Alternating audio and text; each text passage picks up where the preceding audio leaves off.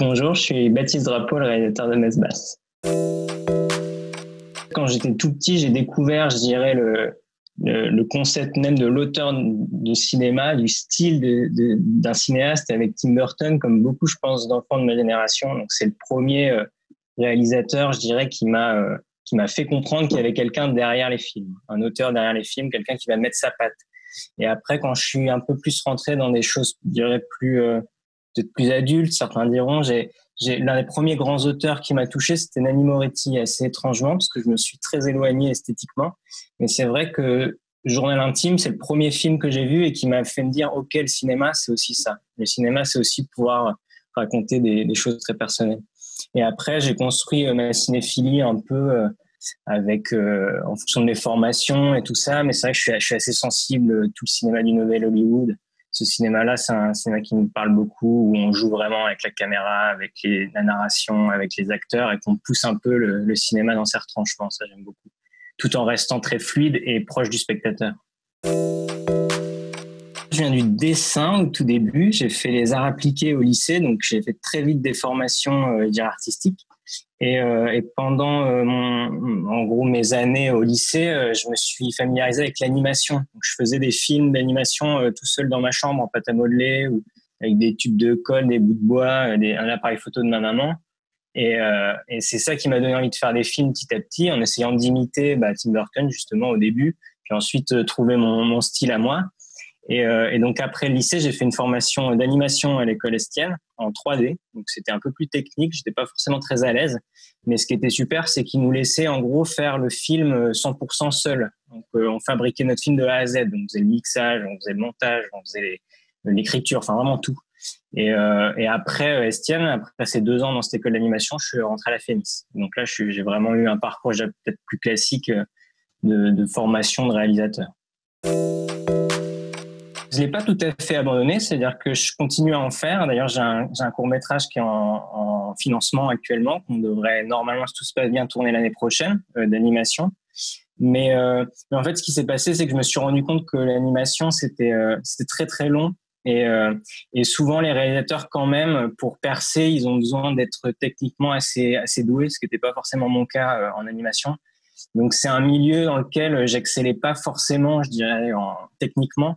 Et, euh, et du coup, la prise de Durel m'a permis d'avoir les, les, manettes de la réalisation d'un film plus rapidement. J'avais prévu de continuer à faire de l'animation ou de la bande dessinée. Je me suis dit, bon, s'il y a une école de live qui veut bien de moi et qu'elle est super, type la FEMIS, ça voudra dire que je fais le bon choix. Donc en fait, j'ai juste tenté la FEMIS et que des écoles d'anime. Et il s'avère que je l'ai eu. Donc je me suis dit, bon, bah, c'était ça. C'était ça le chemin à prendre. Quand je suis arrivé à la FEMIS, on a, on avait un premier film, un court métrage qu'on avait à faire. Moi, je, connaissais rien en, prise de vue réelle, donc euh, c'était la première fois que je travaillais avec des acteurs, avec une équipe, avec une caméra. J'avais l'habitude de faire mes films tout seul.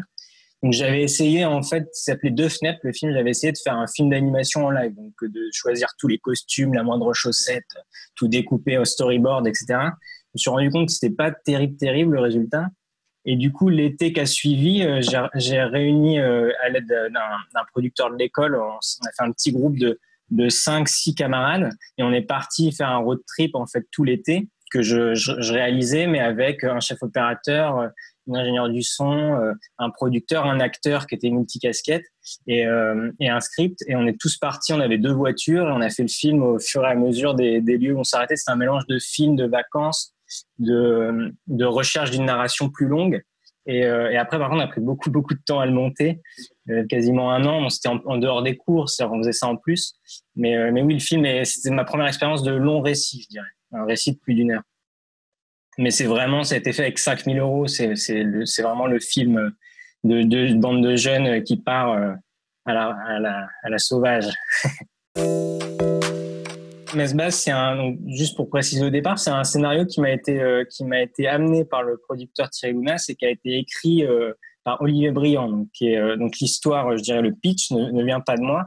Moi, je l'ai réécrit avec mon camarade scénariste Mauricio Carrasco. On a fait un travail de réécriture pour, je dirais, l'adapter pour mon cinéma, mais le pitch n'est pas le mien. Et donc, en gros, l'histoire de Mesbaz, c'est une, une jeune fille qui s'appelle Julie, qui, euh, qui commence des études d'aide-soignante. Euh, du coup, elle, vient de la campagne, elle emménage dans une, ville un peu plus grande où, pour faire ses études dans, une grande université. Et comme elle n'a pas d'argent, elle emménage chez une vieille femme qui lui prête une chambre en échange de, de quelques services, type mettre la table, faire le ménage, ce genre de choses. Et cette vieille femme, Elisabeth, a perdu son mari à 20 ans, mais n'a jamais vraiment réussi à l'oublier. Du coup, elle euh, continue de vivre comme s'il était toujours là. Donc, elle, elle, met la table pour trois, elle lui parle, elle fait comme s'il était là et elle demande à Julie de jouer le jeu. Donc, Julie va jouer le jeu au début pour être sympa. Et plus le film avance, plus en fait, Julie, qui est en fait une vraie romantique et qui est, qui est un petit peu rétro dans son rapport à l'amour, va se sentir assez mal dans, euh, dans l'université, le rapport avec les jeunes et l'environnement contemporain et va commencer à fantasmer l'histoire d'Elisabeth et son mari, qui est beaucoup plus belle, beaucoup plus poétique, on dirait une, histoire d'amour de roman. Et plus ça va, plus Julie, en fait, euh, va tomber amoureuse de ce mari qu'elle fantasme et qu'elle imagine comme euh, étant de plus en plus là. Et donc, le film vrille au triangle amoureux entre cette jeune fille, cette vieille femme et ce, ce mari euh, qui n'est pas là, mais qui est une présence.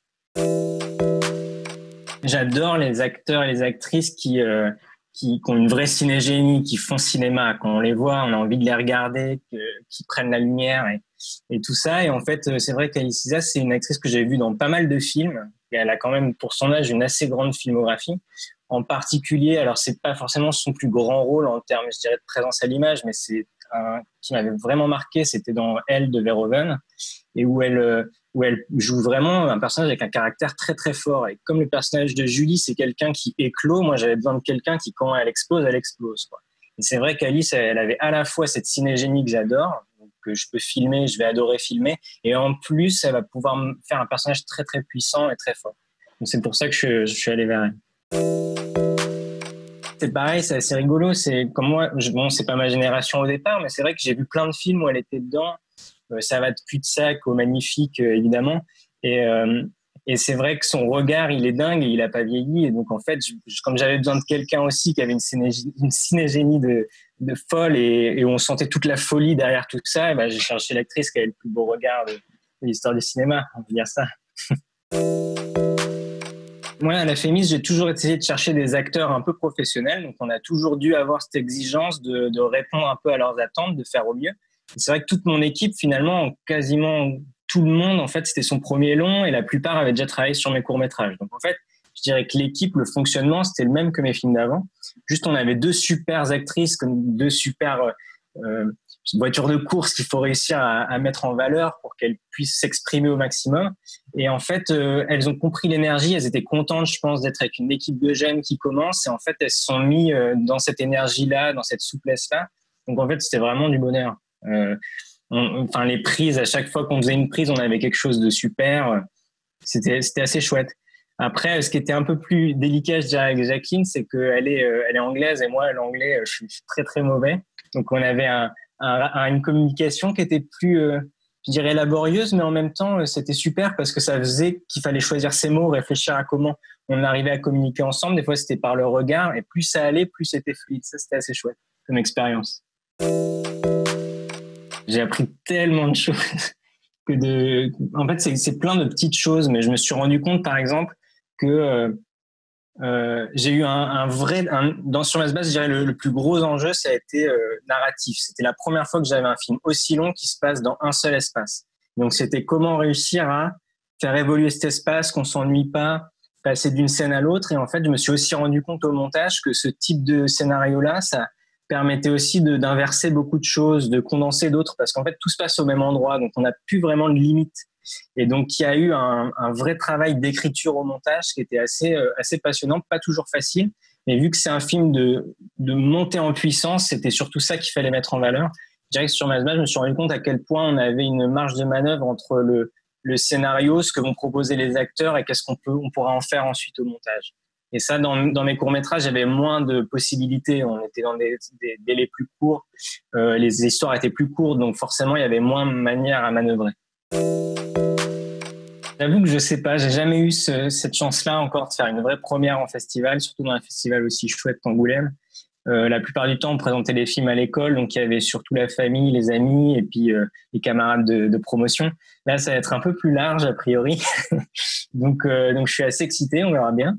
Mais mais c'est un film quand même qui est fait qui est fait pour le public. C'est-à-dire que j'ai envie que les gens ils, ils soient emportés, qu'ils vivent le film et, et du coup j'espère que ça va prendre. C'est surtout ça mon, mon angoisse et mon envie, c'est de voir comment les gens vont réagir. J'ai un petit peu envie de me, me, mettre au premier rang et de me retourner pour regarder la salle plutôt que le film pendant la projection.